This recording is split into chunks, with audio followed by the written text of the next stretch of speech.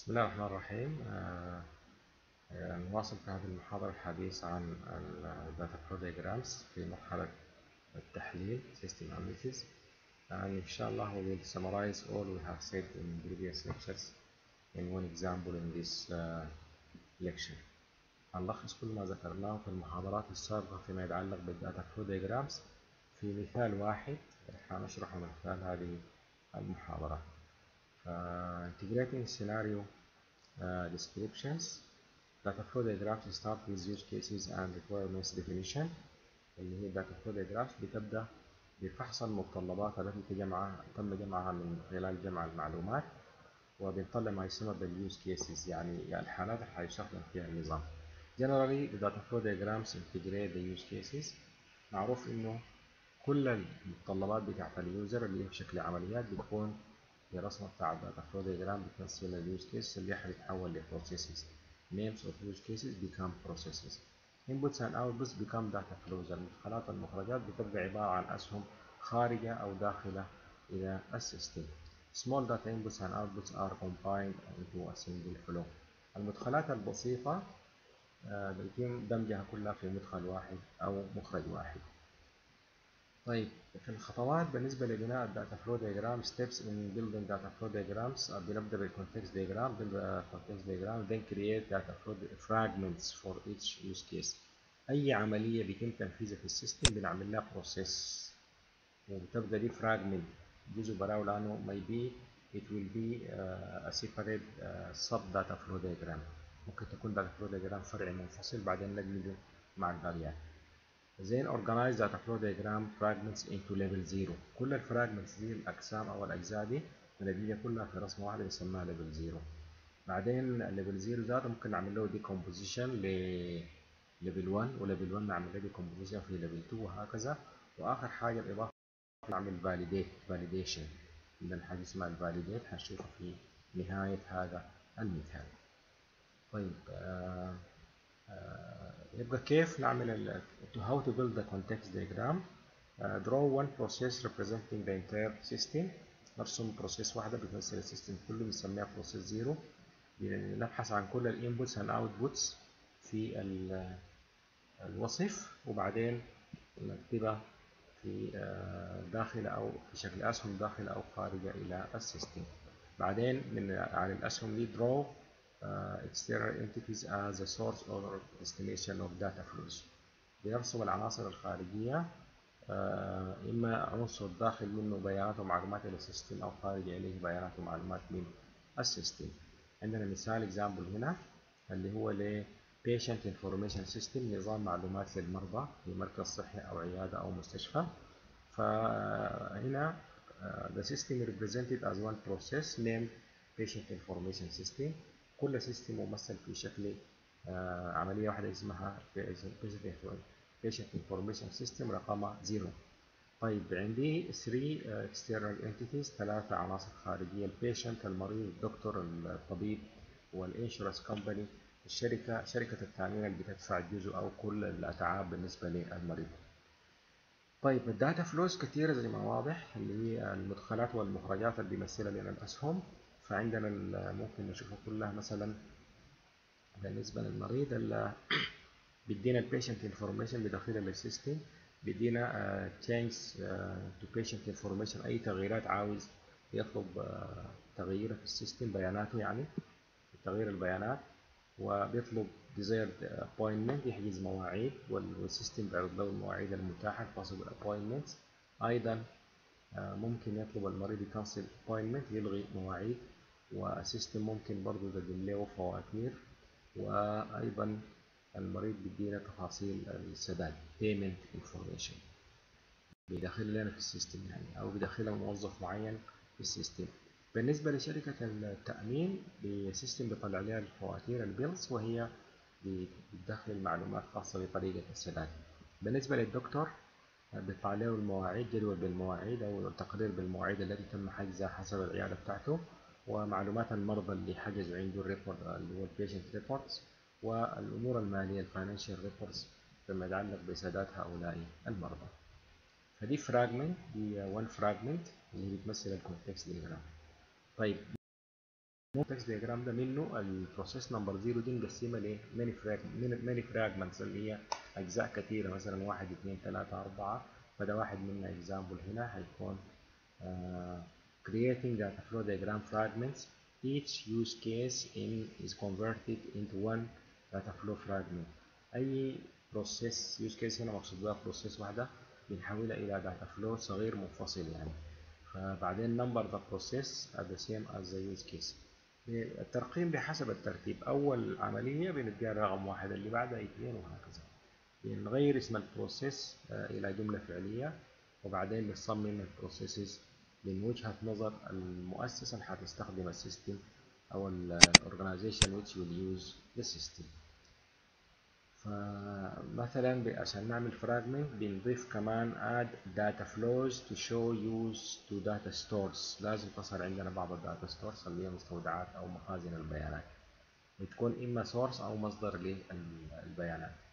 الشكل العام ال layout بالنسبة لل data flow diagram بيكون ال processes في ال center في الوسط وال inputs بتكون في اليسار غالبا وال outputs إلى اليمين وبعدين ال stores مخازن البيانات بتكون في أسفل ال processes ده مثال data flow diagram fragment example لنفس ال system بتاع المواعيد. فعندنا هنا make appointments اللي هو عمل حجز موعد. فظهر لنا هنا ال patients data database وال appointments database يعني قاعدة معلومات المرضى أو سجل معلومات المرضى وسجل معلومات المواعيد ف for example ال patient هيزود لي باسمه patient name. في أثناء العملية دي هنطلع معلوماته من الملف بتاع ال patients بتظهر كلها. بعدين بنشوفه عاوز شنو؟ مثلا desired appointment عاوز مواعيد. بنشوف الجدول بتاع المواعيد هنا. ال available appointments من من الملف دي وبنعرضها له اللي هو ال possible appointments مواعيد المحتملة. فبيقوم بيختار منها واحد بنقوم بنسجله له يعني نختار واحد واحد عليه نسجل ال appointment في نفس الملف. تمام؟ برضه ممكن يطلب تغيير أو أو إلغاء. Appointment to cancel to change or cancel فهنا في الحالة دي برضه بنشوف المواعيد كلها. من السيستم وبنلغي له المواعيد اللي يريد إلغاؤها فيبقى بالنسبة لنا هنا أهو دي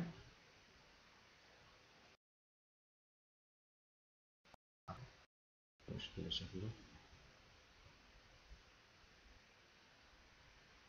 حاولت بس أوضح بجزئية بسيطة اللي هي هنا. انه ممكن يحاول to change or cancel uh, appointment فبنبحث عن الموعد المسجل وبنديه فرصة انه يغيره كما يريد طيب فيبقى دي this is one data flow diagram fragment ل process واحدة اللي هي حجز مواعيد similarly we make data flow diagram fragments for other processes بنعمل بنفس الطريقة data flows فرعية لبقية العمليات اللي هي بتصير عندنا. level zero بعد ده. تمام؟ بندمجها كلها الكلام المكتوب ده combine the set of data flow diagram fragments into one diagram. بنعملهم كلهم كل واحدة براها وبعدين نيجي ندمجهم وبنمشي move from top to bottom from left to right. بنتحرك من أعلى إلى أسفل أو من اليسار إلى اليمين. وبنحاول نقلل الخطوط المتقاطعة وبنكرر حسب المطلوب. لأنه دائما ال data flow diagram حسب الملاحظة دي بتترسم عدة مرات لحد عدة مرات لحد ما تكتمل بشكلها النهائي. فهنا عندنا as you can see in this data flow diagram عندنا process ثانية ظهرت اللي هي fragment ثانية number 2 اللي هي maintain patient information. وفي number 3 therefore billing يعني تنفيذ عمليات السداد والدفع. ونمبر 4 prepare management reports تحضير تحضير التقارير الإدارية.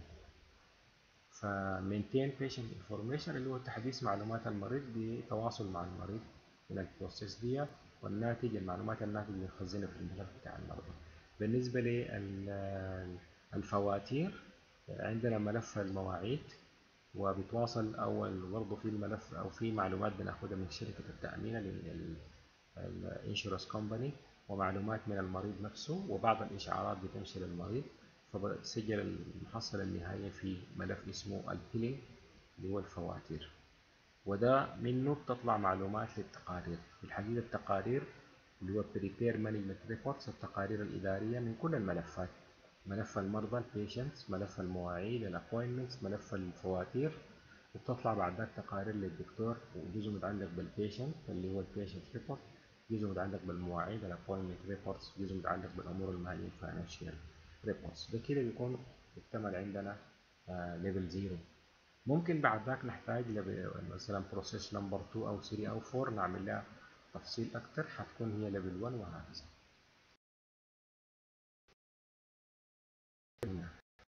creating the level 0 diagram. ده الشرح combine the set of data flow diagram fragments into one diagram. تدمج ال fragments اللي هم ديل دي أصلا بتترسم fragment براها مثلا number 2 و number 3 بتترسم براها و number 4 وإحنا رسمنا number 1 براها وبعدين تجي تدمجهم مع بعض في رسمة واحدة. دي, دي العبارة الأولى. Generally move from top to bottom الكلام ده كررناه وقلناه قبل شوية. طيب آه بعد ذلك بتجي level 1 ربما تحتاج تفصل واحدة من ال processes. وبنفس الطريقة في تفاصيل الكلام المكتوب ده بنفس الخطوات ممكن تفصل آه واحدة من ال processes إلى مستويات أدنى. بالنسبة لل level level 1 دي تفاصيل إنه كيف ترسم ال level 1 اللي هي أصلا إحنا كررناها قبل كده وذكرناها في المحاضرات السابقة. طيب في حاجة جديدة اللي اسمها validating the data flow diagram التحقق من ال data flow diagram. بتبحث أول حاجة عن ال syntax errors الأخطاء الإملائية أو النحوية. فبالنسبة لل data flow diagram بنعمل check لل process بالنسبة لل process بنتأكد إنه عندها اسم name وعندها الاسم ده ذاته عبارة عن جملة فعلية وعندها number رقم وعندها وصف مختصر. خلاص؟ بيكون على الأقل في 1 input 1 output. 1 input 1 output. ال output data flow هي ال names ال output data flow names usually different than input data flows. يعني المسميات بتاعت ال output بالنسبة للمخرجات والمدخلات بتختلف يعني. خلاص؟ ال processes المفروض تكون ما بين ثلاثة إلى سبعة processes بالنسبة لل data flow ذاته برضه في شروط بالنسبة للوهودية واضحة. برضه اسم ووصف مختصر و at least one process لازم يكون مرتبط ب one process على الأقل. برضه يكون one direction. ال data flow سهم باتجاه واحد ما اتجاهين. وأقل عدد من التقاطعات مع أسهم أخرى. بالنسبة لل data store اللي هو مستودع البيانات برضو اسم ووصف و at least one input. لازم يكون في one input على الأقل و one output على الأقل. يعني أو واحد من الاثنين. بالنسبة للإكسترنال انتيتي نفس الحكاية في شروط مفروض نراعيها طيب آه بالنسبة للcontext diagram every set of data flows must have one context diagram تمام وال viewpoint there is a consistent viewpoint for function evidence is wholly and completely described by the processes on still run data flow diagrams يعني أي process تفاصيله في المستوى الأدنى منها بتكون موصفة ال balance اتكلمنا عنه في محاضرة سابقة اللي هي الموازنة إنه لو في شكل ظهر مثلا data store ظهر لنا في level zero لازم معناته يظهر في مستويات الدنيا وهكذا. هنا في semantic errors برضو الأخطاء اللي منها جزء من التحقق الأخطاء المعنوية يعني. خلاص؟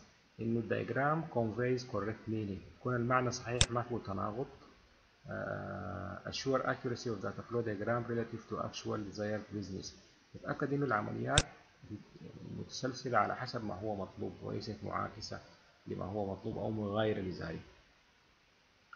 طيب عشان نتأكد من ال correct presentation بنستخدم حاجة اسمها ال walkthroughs وال role play processes ديل طريقتين للتأكد هنجي نشرحهم إن شاء الله لما نتكلم عن ال processes والتحقق منها والتأكد منها. خلاص؟ بنعمل ال lowest level data flow diagram المستويات الدنيا من ال data flow diagram بنتأكد منها إنه ما فيها أي أخطاء. بنركز عليها لأنه غالبا الأخطاء بتحصل في هذه المستويات. برضو نتأكد من الأسماء بشكل جيد عشان تكون ماشية ومتوافقة مع الشروط بتاعة المصطلحات التي شرحناها في المحاضرات التالية. المحاضرات السابقة عفوا. وده ملخص لما تم تناوله في هذه المحاضرة.